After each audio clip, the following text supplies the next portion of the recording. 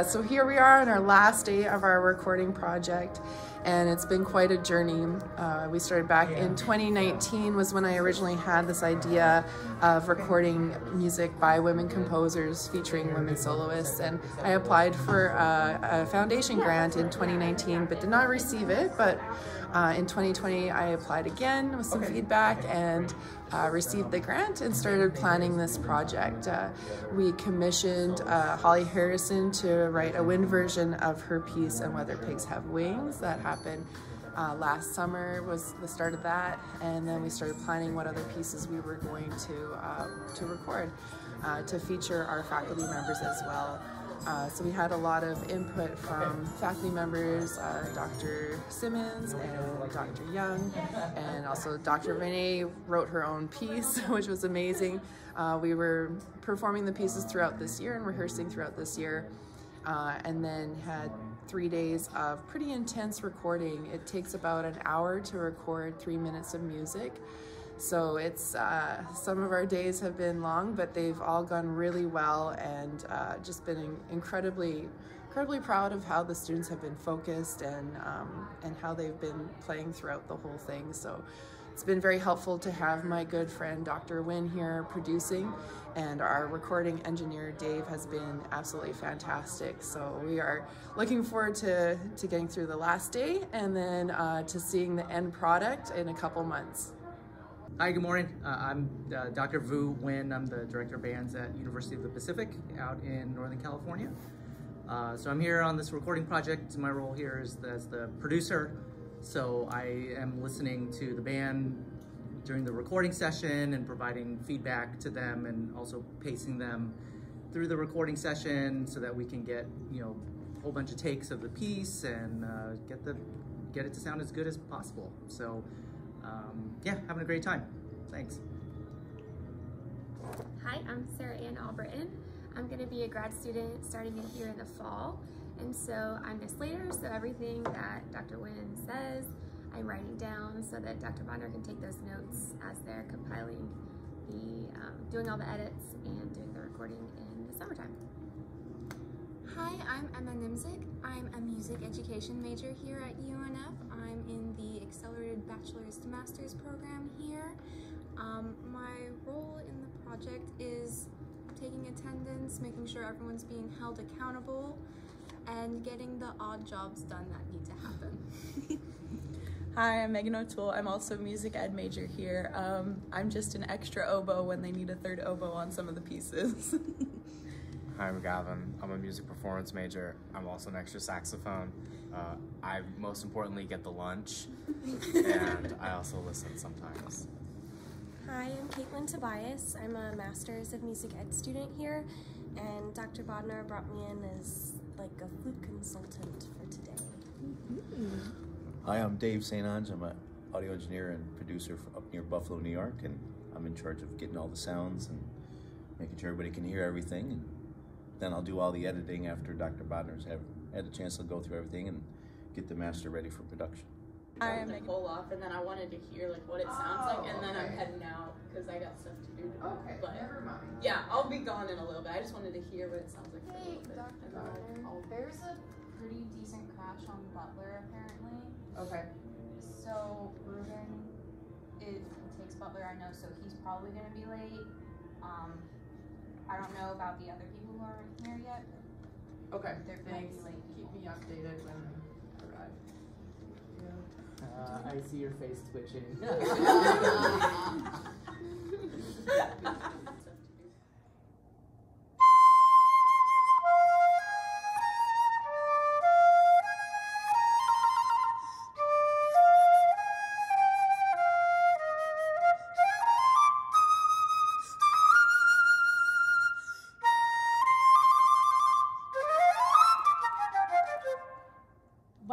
um, this uh, this concerto was uh, written for this this recording project, um, and uh, this will be the first time that it's performed, I guess, and recorded for sure. And um, it's by uh, Marie Douglas, and she did a piece um, that the band played in the fall, and they loved the piece so much that they asked her um, if she would write a piece for flute and bands. And uh, yeah, it's, it's a really cool piece.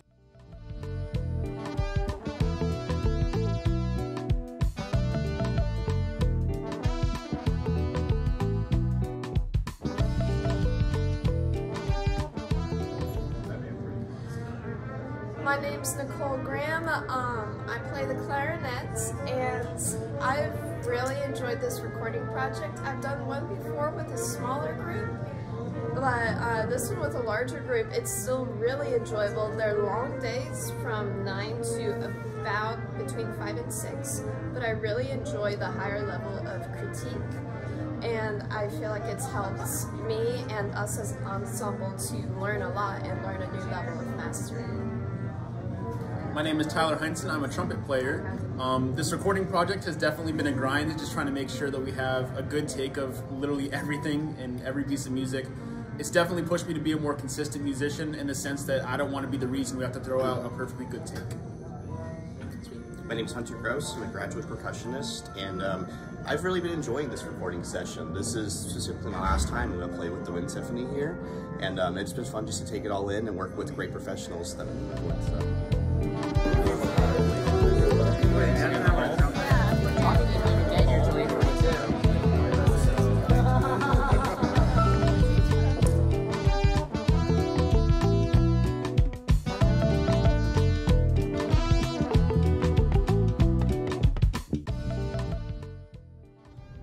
Name is Andrea Venet and I'm the Director of Percussion Studies at the University of North Florida. And I'd like to talk a little bit about my new piece, This Prismasonic Rock I Stand, which is a concerto for solo percussion and wind ensemble. And it was written for a big recording project started by Dr. Erin Bodnar, who is the Director of Bands and Conducting at UNF, a good colleague and friend. And this is something I was really excited to do. It's my first time writing for a wind ensemble. Um, and writing a concerto, percussion concerto, is something that I've wanted to do for a long time. So it was really uh, exciting project to be a part of and to collaborate with Dr. Bodnar on. Um, the title, This Prismasonic Rock, I Stand, um, is really based on a synthesis of sound and color. And some of the goals I was aiming for was to utilize some of my favorite percussive timbres and instrument combinations across the whole ensemble in a manner that created certain aesthetics and uh, characters that help to highlight beautiful melodies and a vibrant rhythmic content within the piece.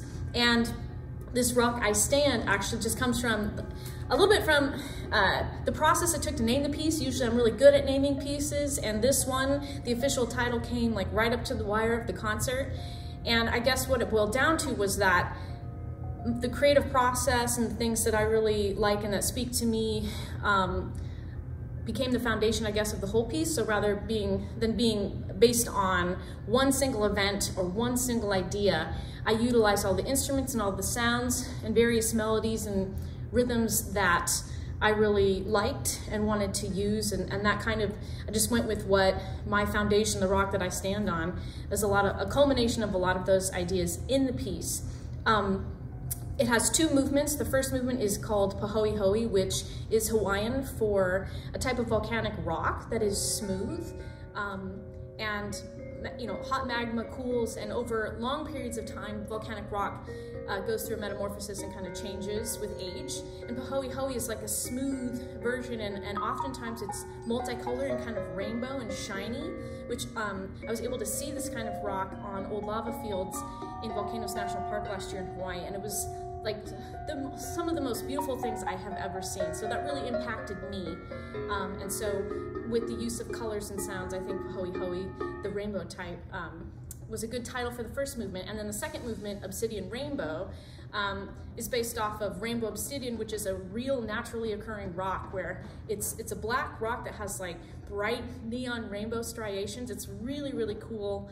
Um, and I, you know, since the second movement is a little bit more edgy, it's a little bit more aggressive, there's more drums and stuff, um, but there's also really beautiful movements. Um, I named it Obsidian Rainbow oh, uh, about that kind of rock as a contrast.